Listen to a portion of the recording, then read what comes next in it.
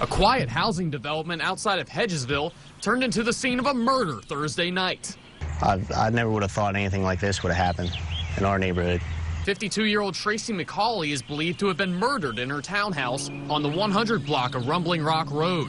The sheriff's department says that a family member reported suspicious circumstances around 8:30 Thursday night. When authorities got to the home, they found Tracy McCauley dead. Deputies say she died from asphyxiation and was lying on the living room floor.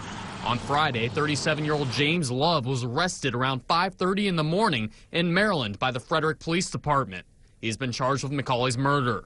Within eight hours, we had obtained a warrant, and nine or ten hours, we had a person in custody, which is very good for kind of a whodunit. Authorities say he was from North Carolina and needed a place to stay.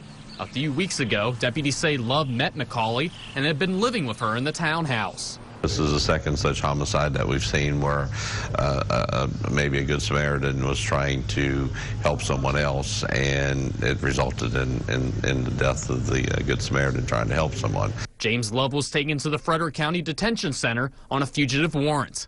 Officials hope that the arrest will bring closure to a shocked family and community.